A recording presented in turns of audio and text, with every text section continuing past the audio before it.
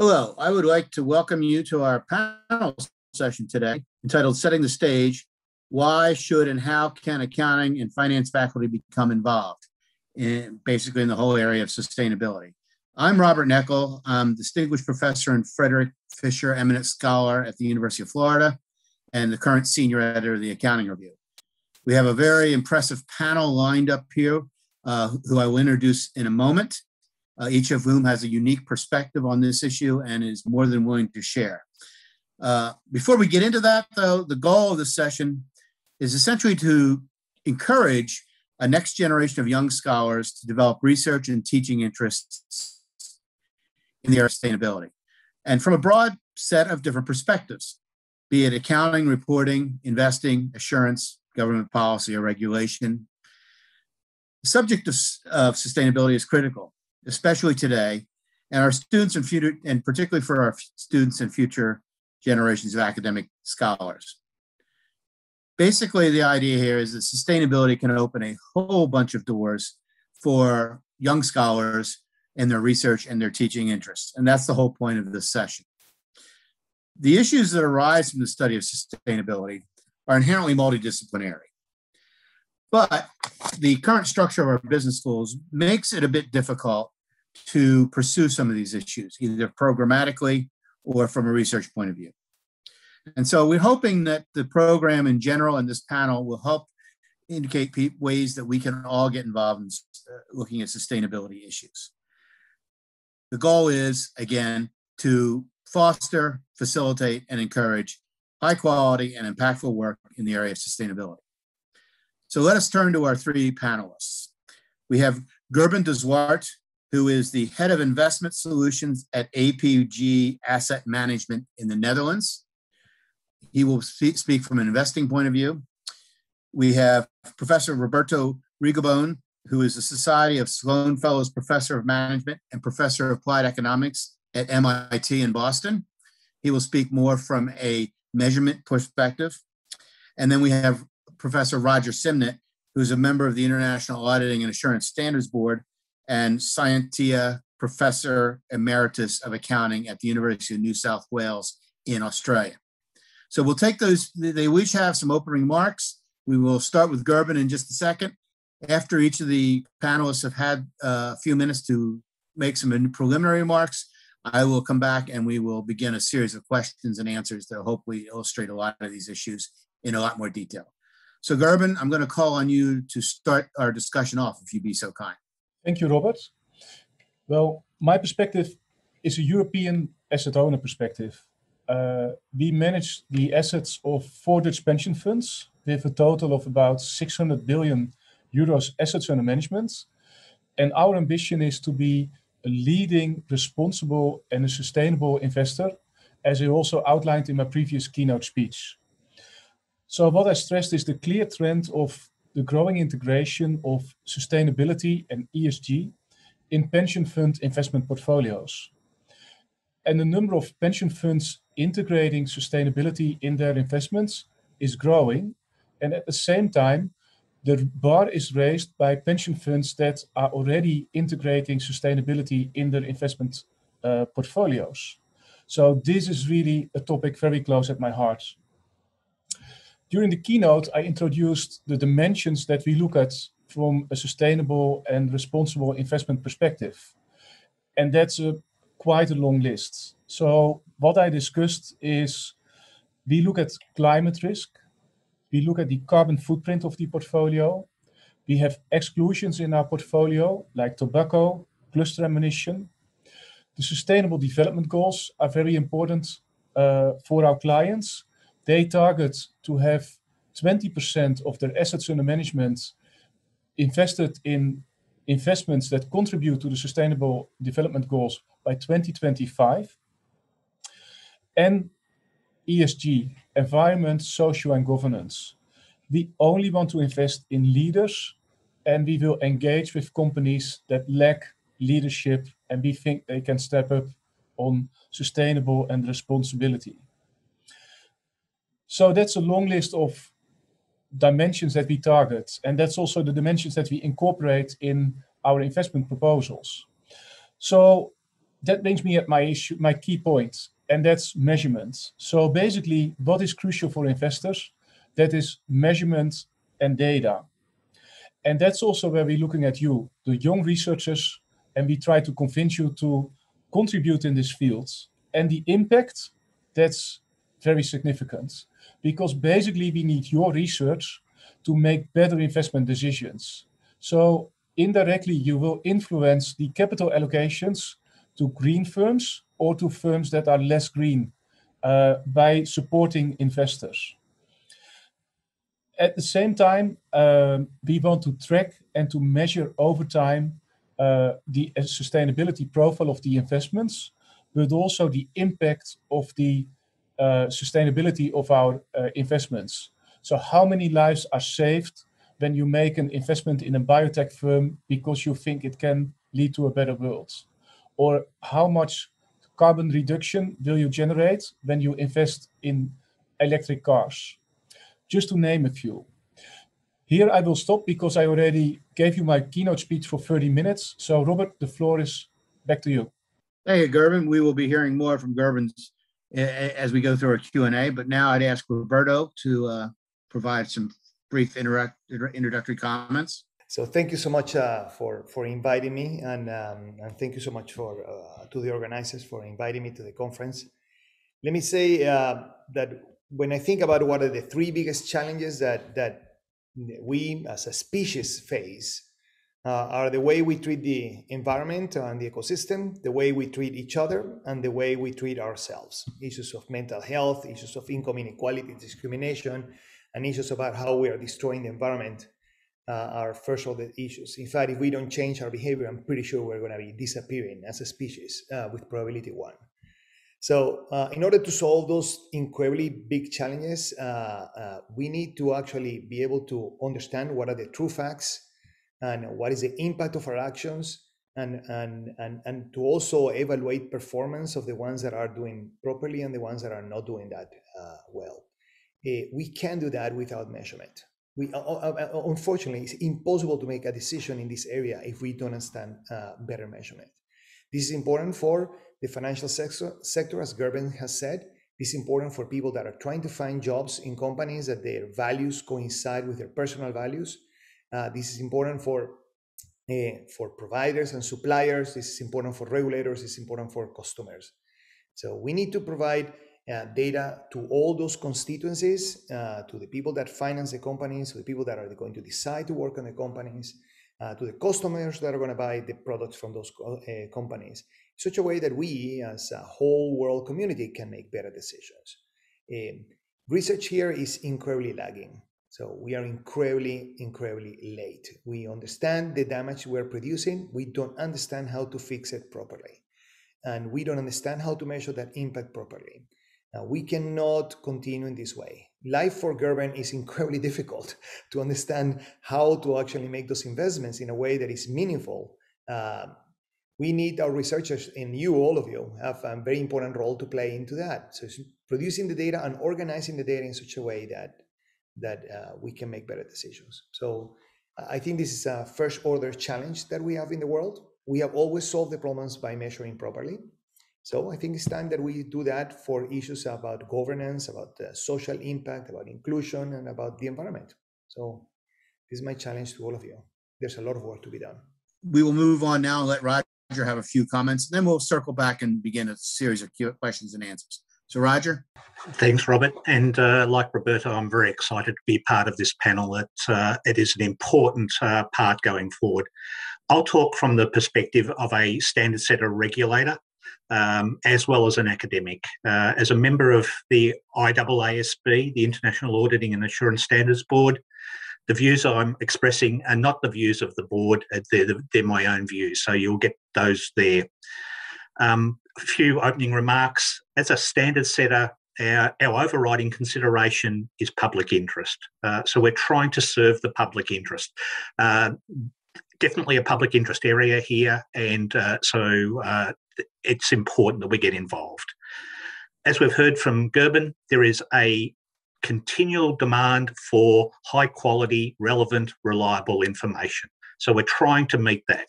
But we know, as we've heard from Roberto, that there are a lot of measurement challenges here.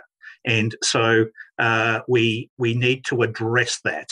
Uh, as academics, uh, you will be using information which comes from a framework. In most cases, comes from a reporting framework, um, and those reporting frameworks at the moment are under continuous improvement. Uh, so they're at various stages of uh, of maturity. So it is important that we be involved here uh, and that we we judge those as academics we are trained to uh, to work on these particular areas. Uh, we are independent, uh, and so it's important that we are heavily involved in this particular area. I do believe that what gets measured uh, and gets reported gets managed. Uh, so uh, so I see a big benefit there. And also, as Gerben said, what gets reported externally gets relied upon by external stakeholders, uh, which leads to resource allocation decisions. So these are very important areas. And as Roberto said, if we don't do something, um, you know, we could be facing uh, extinction in, in a number of, of years. So it's important that we do areas. I'll talk through just a couple of areas uh, that are important. Uh, first is the reporting frameworks and related measurement rules and disclosures. We, there's a huge range of reporting frameworks out there. So there's over 400 reporting frameworks out there, and so it's a it's a myriad of uh, of of reports that we can be working through uh, from uh, from very specific information to covering a broad range of information. The reporting frameworks are fractured, and so they're at a very evolutionary stage, and we need research in there on all these different types of reporting frameworks.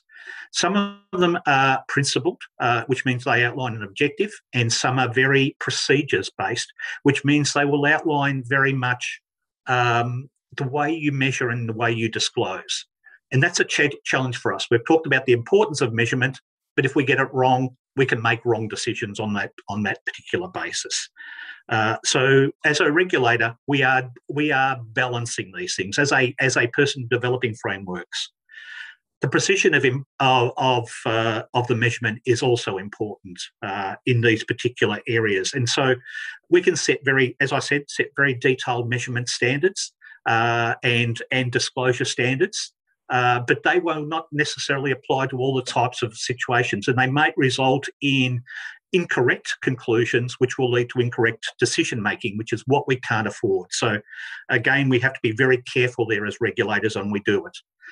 Um, and in these areas, we've got a few challenges, which includes the areas of materiality. How do we set materiality here? Because we have not common units of currency, and also aggregation risk. So, how do we deal with those particular areas?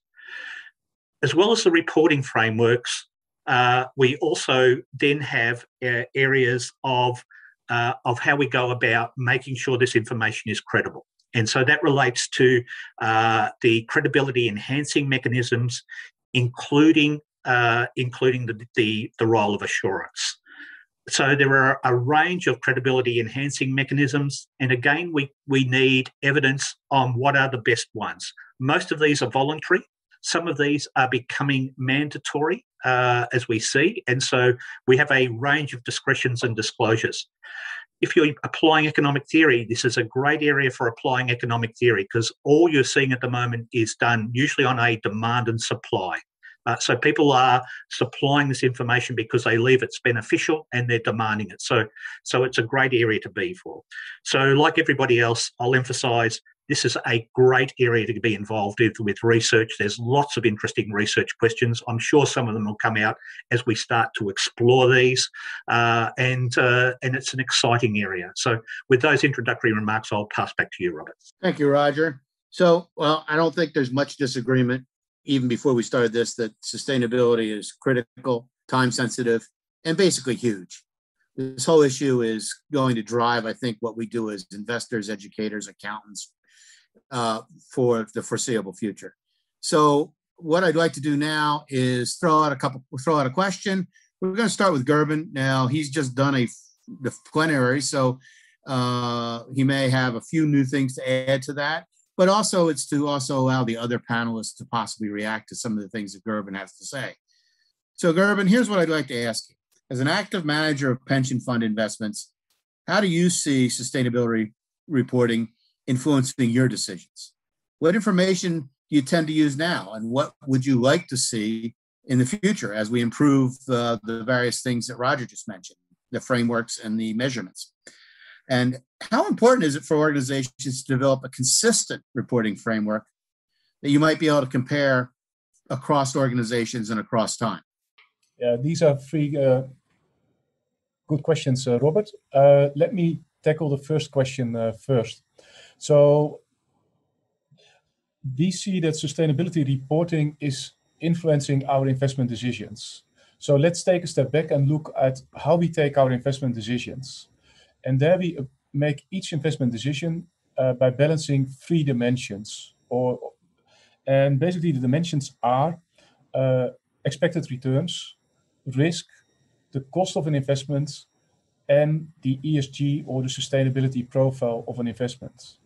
And that's a balance between these four dimensions. So it means that our ideal investment gives you a high return, a low risk, and is very green. But these investments are very scarce. So that means that every day we need to balance these four dimensions and we need a lot of information related to that. And that's not only in listed equity, but it's also in corporate bonds, it's also in direct real estate, but it's also in hedge funds or private equity. Um, so that's across all our asset classes. Then on the second question, um, what kind of information do we use today and what kind of information do we want to use going into the future? Today, we just use self-reported data and we use information from the ESG rating agencies. But going forward, and, and already a little bit today, I see two important trends. So one is the use of other third-party data. So call them alternative data providers. So data providers not related to company reporting itself, but independent data. For example, from the governance, from NGOs, uh, news sources, and the aim of the use of that data is to get a more holistic perspective on sustainability of a company than only using self-reported data. And in addition, there is a clear trend on measuring the impact of the decision, what I already previously mentioned. So we want to know if we make an investment because of sustainability, what is the impact on the environment or on the climate from that investment? And that's what we want to measure over time. So not only as a one-off, but really how do we make a difference? So that's a whole new dimension. And then the consistency across asset management companies.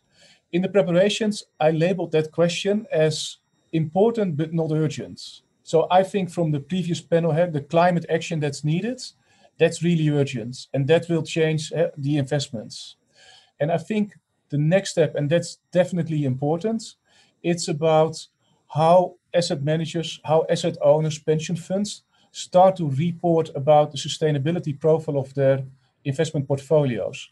And given the overwhelming amount of data that's already available, I'm fully aware that it's very difficult to compare the sustainability profile of one pension fund with the other.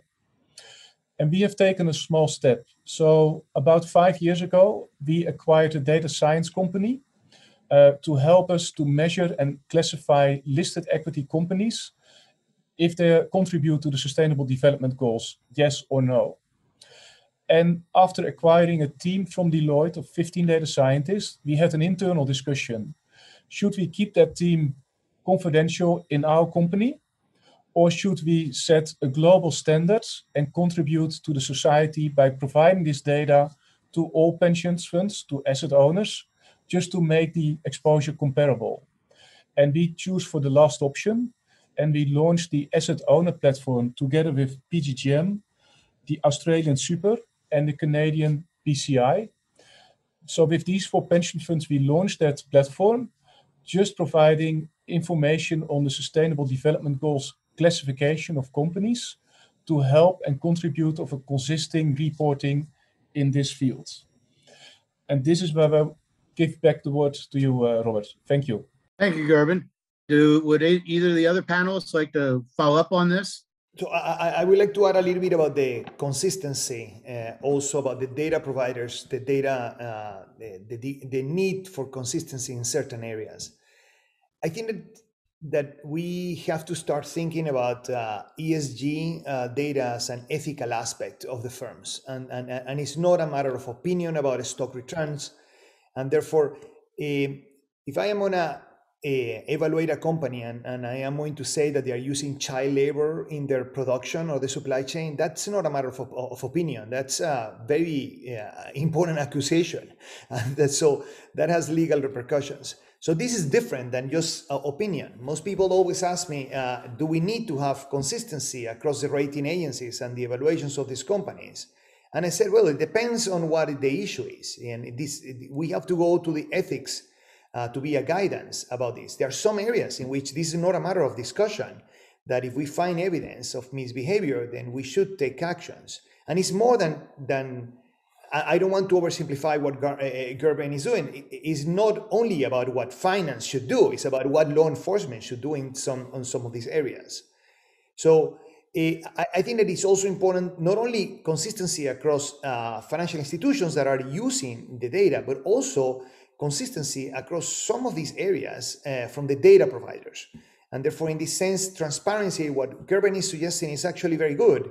I will encourage rating agencies to, in, in certain areas, to be equally transparent because we're all measuring different pieces of, for example, human trafficking. We will be much better off uh, if we all share those pieces uh, to be able to construct a true assessment about the probability of using human trafficking production of one company, textile or not, whatever it is. And the same for uh, safety of products. So I want to emphasize the issue of consistency from the measurement point of view that is, uh, is also needed. Back to you, Robert. I'll come in and then we might give Gerben a, a chance to reply. Uh, look, again, consistency can be um, can be guaranteed, I suppose, or, or can't be guaranteed, but it, it can be encouraged uh, through the, the precision in the reporting frameworks. But as you get more precise in this diverse information, um, it may lead to the types of measurement errors that Roberto was talking about before. Um, so uh, we try to aim at comparability uh, to allow uh, resource. Uh, most most frameworks try to aim at co- comparability, but there's also in these frameworks there is a an area of developing um, continuous improvement. So even they they will will will struggle on comparability. Um, I agree entirely with both speakers that uh, the more transparency we can have around these things, the better. Um, but we do aim comparability, and sometimes it's not comparability across; it's uh, across it's across periods within the same organisation because of the the range, as well as a comparability between what organisations you might have to allocate resources to, or or wish to allocate resources to. So these are challenges that lead to research questions, which is which is great, uh, and uh, and they research questions which need to be addressed. Um, and also for Gerben, you know, he he talked about sustainable development goals.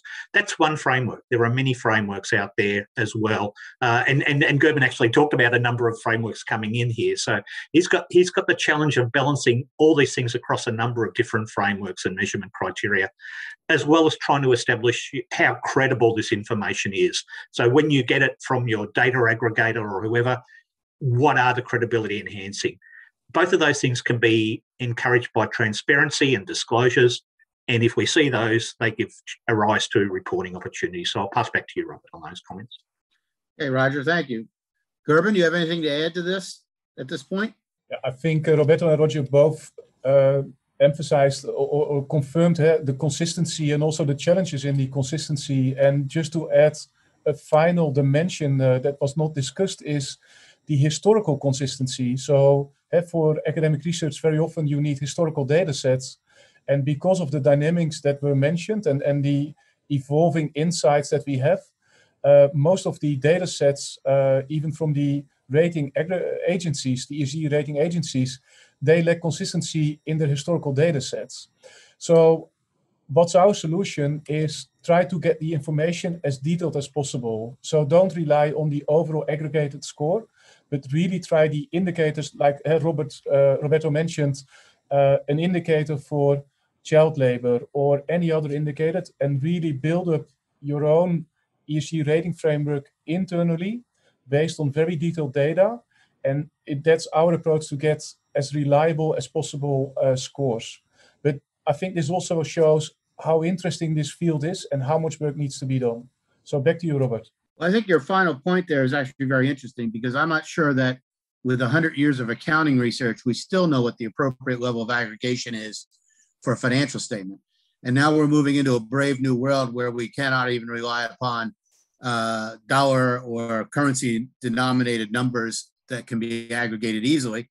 And so I think this is going to this is a great area for uh, future research to look at. Uh, I actually have a pretty simple question though, Gerben, before we move on to Roberto. Uh, would you prefer freestanding sustainability reports or would you prefer to see a fully integrated approach to, to reporting? I lack the expertise to give an answer to that. So what I just stress is that I need reliable information that's widely available. And for me, it's the data that that I need and, and the way how it's reported, I leave that to the experts uh, like Roger uh, to answer that question. Okay, good answer. okay, Roberto, if you don't mind stepping up, uh, given the desire for better sustainability reporting, as we've just been highlighting with Gerben's comments, what do you see as the role of the current and more importantly, the future state of the art for measurement technology related to the issues we're talking about? Uh, are there some good things we have going now that we can build on, or do we really need to look to the future to develop whole new methodologies? So this this also builds a little bit on the on, on your comment, Robert, about uh, uh, accounting has spent hundred years measuring one thing, uh, earnings. Okay, so uh, in, in, in sustainability, we're going to move to measure 64 things, and we only have uh, 10 years uh, of experience. So, so this is. Uh, you sure it's only 64, by the way? Eh, well, I mean, it's just I, I made up a number. Actually, 64 is from our paper. So, um, yeah. So. I think that two things are going to happen. So we are in the process of developing a lot of these measurements. So uh, uh, we are kind of also discovering what matters to us. So uh, and I learn every day when I talk to to people at MIT about things that matter to them. So you know, if you ask me, I never cared about electromagnetic field pollution, but it happens to be that this is a thing uh, in Germany, in the Netherlands, and so they they care a lot about this. So so the issue is that we are also learning what our preferences are. So we don't even know how to do the trade-off. So eh, unfortunately, uh, we will need to have a kind of competition on the data providers because I think it's the best way to produce the innovation of the new measurements uh, moving ahead. And, and that will imply that it will be very difficult to create histories of measurements, that it will be very difficult to compare through time. It's going to make the life of Roger absolutely miserable. I understand that because it would be impossible to compare today to uh, three weeks ago. And, uh, and I think that if we have enough research at the beginning, that competition will, will feel very disorganized. But we have the chance to produce better measurements. I think that we have the technologies to do that, uh, from from alternative data sources to web scraping to um, to sensors that we can deploy. And as and as we provide all of those and we try all of those uh, techniques, we will be able to measure ourselves a little bit better, more timely, uh, less reliant on self-reporting, and um, and in, in some sense, we will be able to, to produce better measurement. But unfortunately, the bad consequence of that uh, is that if lucky, we will have uh, two years of data. So, I mean, so the, the comparability through time is going to be very, very difficult. Um, I do think that a lot of ha- things are happening, especially on social issues, which are, I think, uh, are very difficult to measure. Governance is a little bit simpler. Uh, I think we have a little bit more agreement. But on social issues, uh, people are becoming very creative, using technology to evaluate how we discriminate, how we talk to each other, how to interrupt each other, etc. So I've seen uh, very interesting research uh, on that, and also on environment and, and all the aspects from water to soil quality um, uh, I have seen many, many sensors being deployed that are helping a lot. So, so I do think that this is a area in which is very multidisciplinary. You will need to learn a little bit of artificial intelligence or machine learning. You will need to learn a little bit about economics and understand the incentives, and you will need to learn something about the subject that you are measuring. And, and, and all of those three areas put together, we will be able to solve one, one of these measurement problems at a time. Uh, but I do think that we will have um, a disorganized process. If we are successful, it has to be very disorganized. So unfortunately, that's the drawback of that. Roger, would you like to add anything? Yeah, it's, it's uh, you've, you create such an interesting challenge here, Roberto. Uh, I suppose I come from an accounting and finance background, um, and and we're used to dollars uh, and the precision of dollars, and it's been an interesting uh, area for me as I move into sustainability and and greenhouse gases, uh, for example, uh, and and the types of measurement techniques. Um, and it's it's it's it's a, a, it's a it's a challenge in that you know your background is challenged uh, as as an academic, um, but it's an exciting area because it brings a whole lot of measurement techniques uh, that that we haven't thought about because you know this is a scientific and and physical qualities uh, that we're looking at here uh, and and and bringing them over in these particular areas. So I, I, I think there's lots of opportunities here. The the aggregation, as you say, is huge, and the aggregation risk. Um, which leads to errors, um, you know, and you know we're not getting the offsets right, and the externalities in this type of data are huge, and we need to uh, and we need to have approaches at, at identifying this. We have challenged it before within the financial, and just to broaden that out uh, into some of these challenges into this broader areas, I think is is a great area. Uh, but as you say, you know, we, we need to make sure that we're trained and we're we're properly doing this stuff because we don't want bad rep- bad research. We want good research, which is going to inform us. Uh, so everybody's going to be trained. So just it's just comments more than anything else, Robert, at the moment, rather than a question for Roberto. Gerben, anything to add? Yeah, Roberto, I would like to add one dimension, and that's the timeliness. So I think there is a big difference between financial or accounting information and the sustainability information. And I just want to give you an example how important it is. And I would like to think about a utility company, a utility company that has its revenues 50% from clean energy and 50% from uh, carbon fueled uh, power generators. And in, from our perspective, that's not a green company. But imagine that this utility company is selling its uh, carbon power fueled uh, com- uh, uh, installations, and it's only a green energy company afterwards. We can't afford to wait for two, or, one or two years to have this reported in our data sets because that's that's normally the reporting time. So Roberto, I'm very curious on your thoughts on timeliness given your perspective and everything that you mentioned before. This is like what happens when I go to the doctor and, uh, and she tells me, which has been the same doctor for 22 years, she tells me that I'm one year older, that I'm losing hair, and that I have gained half a pound. I mean, after one year, I just have regret for two weeks. It's very difficult to actually uh, correct your health uh, by only paying attention to the past and only measuring very infrequently.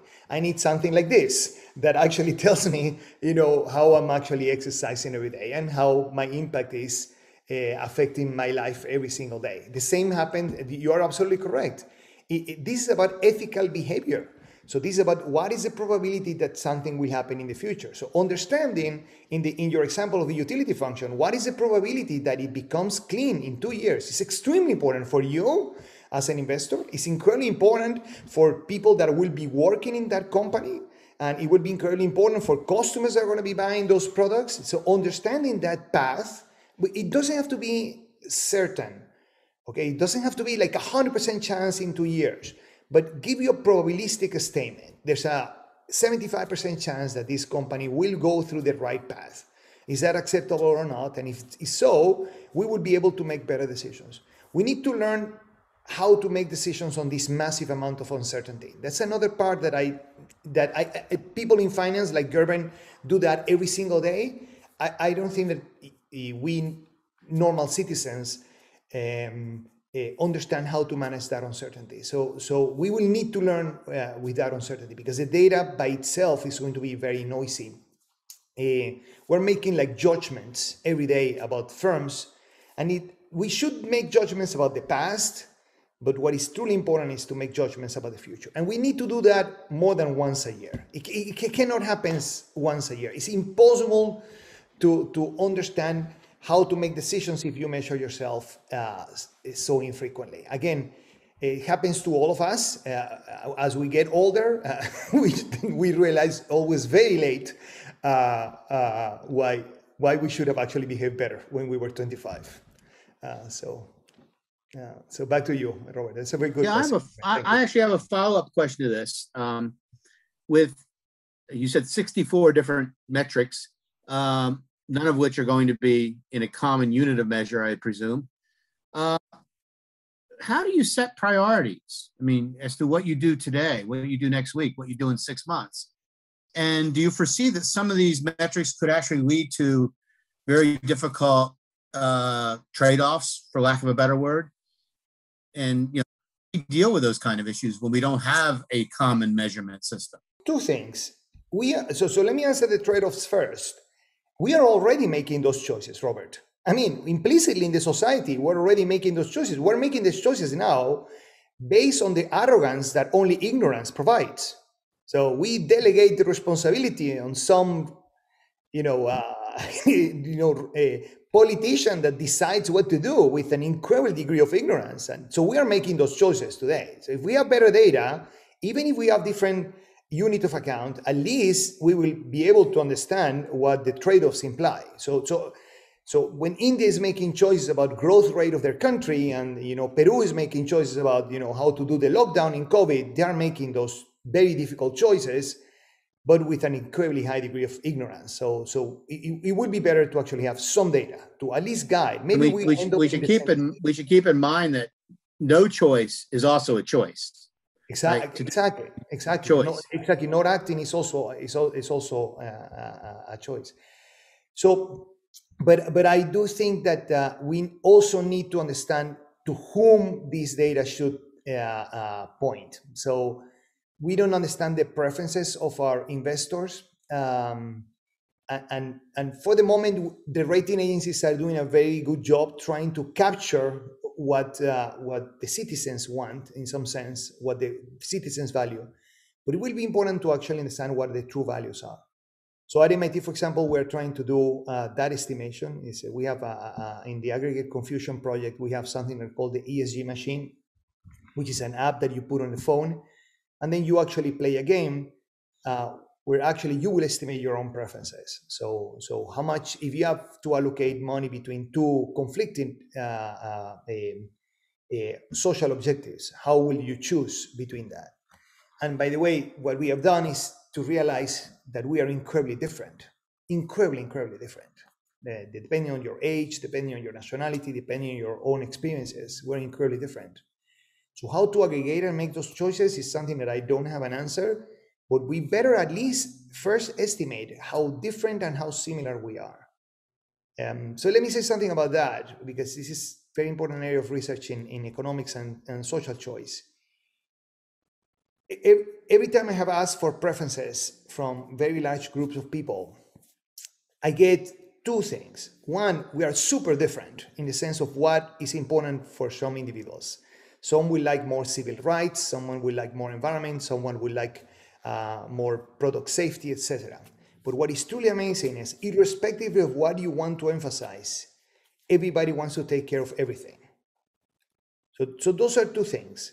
So we're similar in the aspect that all these 64 issues matter uh, to people, all, all of them, truly. You, you will not put a zero in any place. That's the whole point I want to say.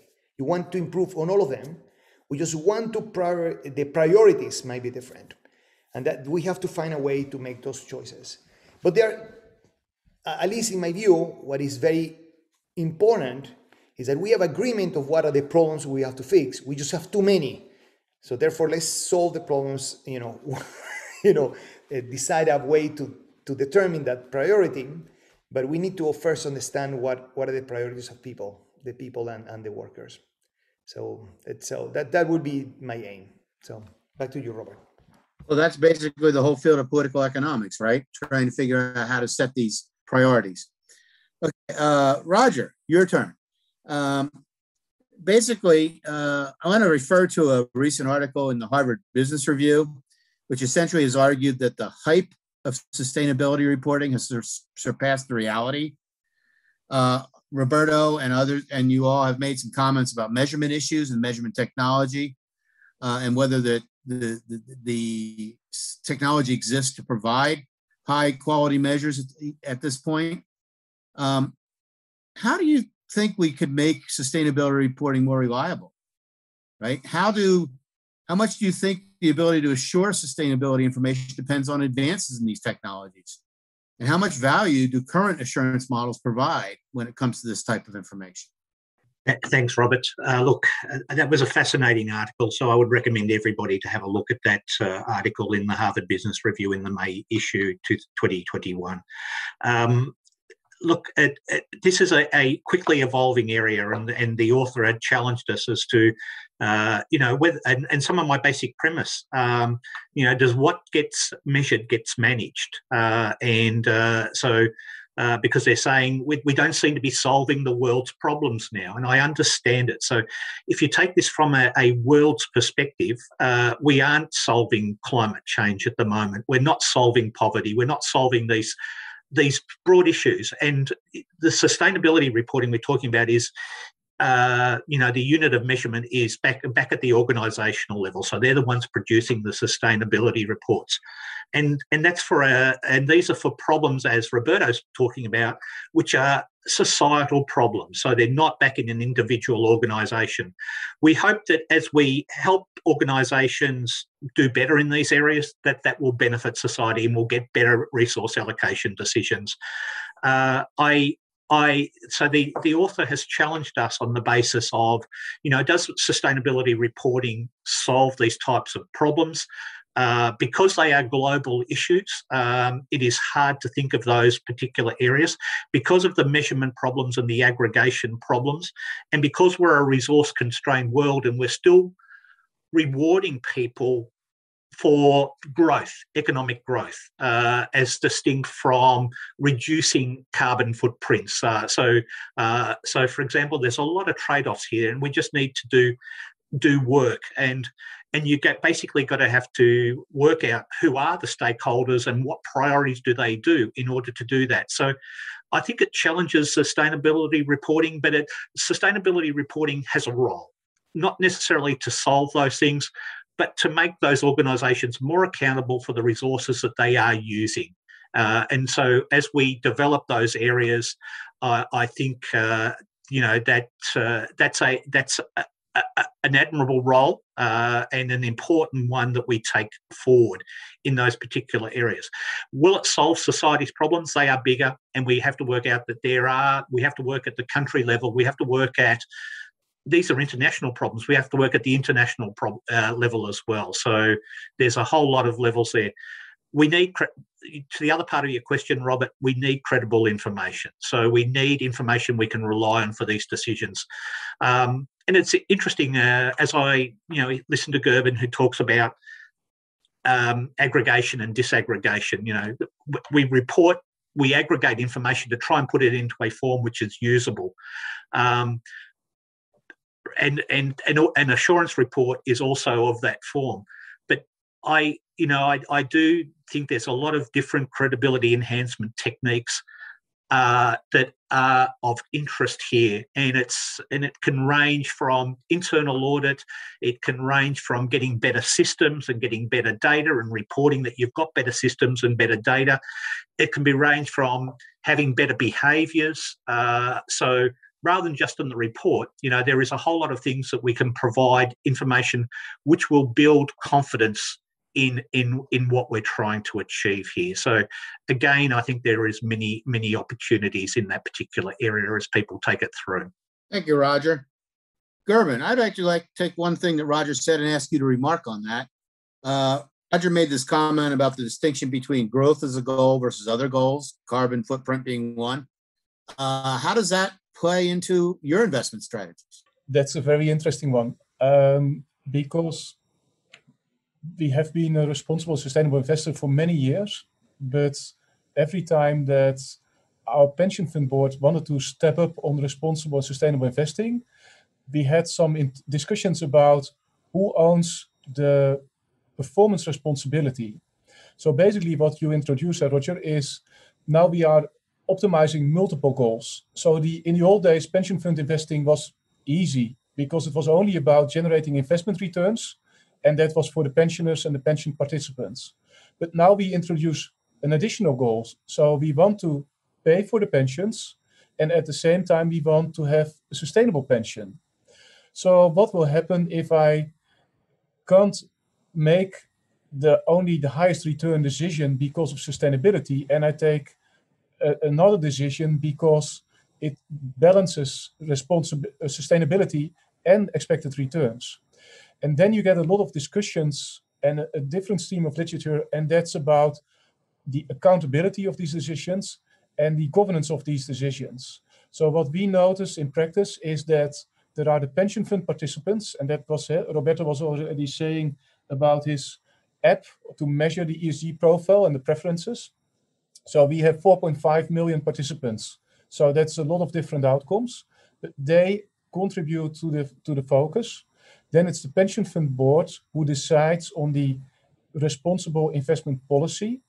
And then it's about the, for the portfolio managers to execute that policy and incorporate it in the investment strategies. And then you get a whole discussion about benchmarking, but that's beyond the scope of this discussion. Thank you. Roberto, yes, uh, I was going to ask you to chime in here. Uh, actually, before you start, there's one thing I would like to actually throw at you, which is, and it's not just Roger's comment, but I think everybody, we, we what, as an accounting professor, I've heard a lot of things that essentially boil down to form over substance. Is, is that's a problem? And if so, how do we get past that? Again on, on, on, ethical issues i think that both matter form and substance. So i think that on, on that question i think uh, uh, we are uh, i would like to answer like an economist as opposed uh, to an engineer. So let me answer it depends. Uh, now let, let, me say something about uh, gdp and co2 emissions. I, I totally agree with roger. We have the wrong set of incentives. And this is goes back to what roger said that what is measured is what is managed. I mean, I, I think that that's more or less what uh, I, I, don't remember exactly if, if, that's the way he said it, but if you only measure GDP, guess what? We are going to only manage GDP. so it's just super simple. Put a carbon tax. I mean, in fact, we need research to understand uh, can we actually just with a carbon tax then make the CO2 emissions then be, you know, uh, revenue relevant? Done. So, so in, there's some aspects here that that it might not be the perfect solution, but is is approximating to a solution. I mean, continue hoping for firms to pay attention to something we don't understand. It's just impossible. And then you know what is a scope three? They don't even know what a scope three is. They don't even know what the definition is. It's a disaster. You just put a carbon tax. Stop this madness. You just so then you know, people are always thinking that we need to reinvent capitalism because somehow the firms are not paying attention to the things that we value. You know what? Just make them make them material. It's just super simple. Make those issues that are important to society, make them material. Find a way in such a way that the externalities are internalized. We know that since 1920, my friends, 1920 was when Pigou wrote that.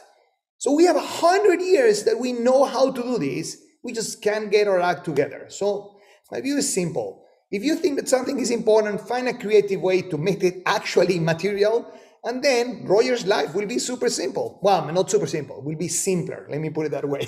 so nothing becomes super simple, but at least it will become simpler.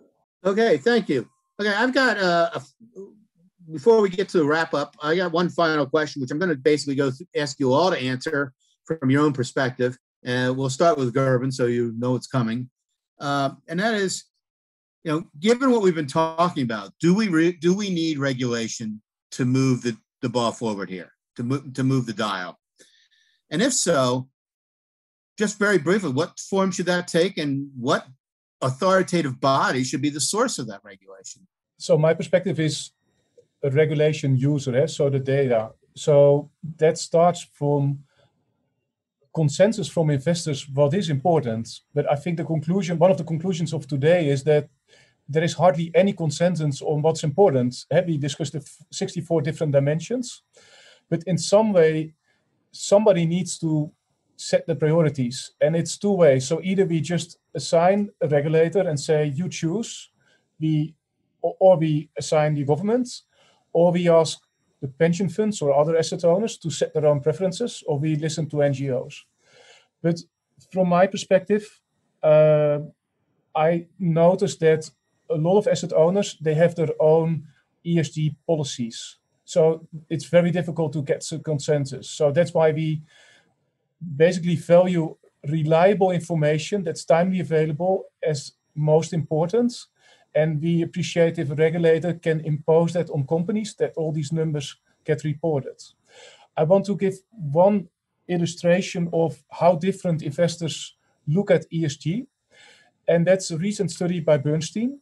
And in that study, they researched the number of ESG indices available to investors. And in that study, they identified 60,000 different ESG benchmarks or indices that are available to investors. So it's not only about the 64 data items, but it's just times 1,000. So it's 60,000 different indices that can be tracked by investors to make responsible and sustainable investments. So also the investment community struggles to give that answer to that. So for me, just a regulator, that would be perfect to give us reliable information. And then we make the best out of it. Just so that Roger doesn't always go last, I'm going to ask Roger to come in on this next. Oh, you're very tricky, Robert. Uh, thank you. Uh, look, I'll talk about it from a perspective of should an organisation uh, would would you regulate an organisation to disclose their sustainable sustainability report? Uh, I uh, I, am of the view that we still haven't got the frameworks developed uh, appropriately uh, in that particular area. So it's hard. It's hard to regulate. Now, having said that, the EU is doing a lot of work. The European Commission is doing a lot of work on regulation at the moment around non-financial. Um, you would hope that uh, that, but if you get the right frameworks out there and and organisations do the right thing, that they get rewarded uh, and that's then empirical research questions. Uh, and some of the evidence is there. The the paper which you referred to before in the Harvard Business Review uh, challenged that and said yes, that's that's the research finding, but it's probably that the organisations that are doing the, the right thing are, are probably the better managed organisations anyway. So it might be a reward for better management as distinct from a reward from meeting the uh, from the claim. Um, the problem of not regulating, of course, is you've got laggards, and these are very important issues. Uh, so, uh, so uh, I'm probably swinging towards regulation, but we need to have informed research to inform the decision making uh, as to what the form of that regulation would be uh, and and what the what the outcomes and uh, and outputs. Here. Roberto's uh, suggested a carbon tax, you know, you can put a carbon tax on the world.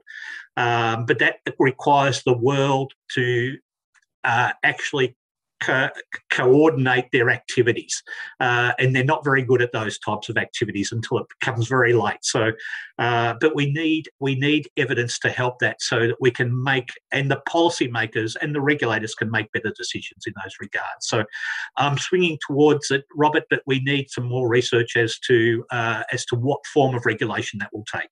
Yeah, well, for those of us in accounting and auditing, we've heard a lot over the last few years of evidence driven standard setting and regulation. And this is essentially, I think, what you're saying. Roberto, uh, I think given our time, you're going to get the last word here. So, so it's all yours. Uh, yes. So, so uh, I think that we all need uh, to put our part, and regulation plays a very important part of that. So, I think that uh, we all need to to play a role. So, I think regulation by regulators is an important one. Regulation through markets is also a very important one, where we can actually create assets and use all the blockchain creativity that we have out there to create property rights and things that are very important that you know somehow externalities are not being internalized i think financial institutions played an extremely extremely important role here uh, in, in forcing uh, eh, the, the the changes by being active. I, I actually think that uh, money needs to be super active if we're going to solve this problem. We need to get involved with the companies that are dirty, the 50 50 uh, percent that Gerben said. Hopefully, he has a place in the board that he can accelerate uh, that path towards zero. So, we need to be very active, and finance is and plays an extremely important role there. Citizens and, and, and customers are ultimately the people that we are serving with this information and the regulator is serving those voters, citizens. So we need to understand what they value. I mean, we cannot continue operating assuming that we know what they, they think and they want. Uh, they seem to be very upset in the world. I mean, in fact, when, when I go around the world and I look at how citizens are reacting, I, I feel that we are kind of failing them. Um, uh, that that somehow we are producing an outcome that they disagree tremendously with that. So we need the young people to, to be the researchers that guide uh, regulation, that guides finance, that guides uh, the reporting in such a way that it reflects what they value. And finally, I agree with Roger, we need to have international standards. And the question, the research question here is, could Europe impose a carbon tax on anything that is traded in Europe? And will that be enough to curtail um, um, the carbon emissions. For example, that would be an example of a carbon tax. That's an extremely important question of research. If we're expecting for whole, the whole world to agree on putting a, a, a, unique carbon tax, we will be dead before that happens, for sure. so uh, the question, the research question is, can there be some partial uh, uh, policies and will that be effective or not? Can a place like Europe afford that and actually, in some sense, educate the rest of us uh, about what should be the path. I think this is this is extremely important research that is ahead. I really hope that this conversation has shown you that from the viewpoint of view of uh, from uh, uh, researchers and practitioners, uh, motivates you to think about how you can play a very important role in shifting what we think is uh, is a bad outcome for the moment. And uh, I'm very hopeful that this is going to happen because at MIT I have always a chance to meet young people exactly like you uh, that are dreaming really big, that are very ambitious in their objectives, and they have the chance to actually affect the way uh, the whole world will behave in the future. So I'm gonna, uh, Roberto, I'm gonna agree with you on the last comment because we're about to run out of time. But I think the next generation of academics is already primed for these issues. They just need the encouragement, the support, the infrastructure to be able to pursue these issues uh, the way those of us who are older have pursued other issues. And I think uh, there's a lot, there is hope in that sense. So I want to thank the, the, the, uh, panel, Gerben, Roberto, and Roger for taking the time to have this discussion. I think it was excellent. I, uh, if we were live, I'd be calling for a round of applause. So you get my applause. Thank you.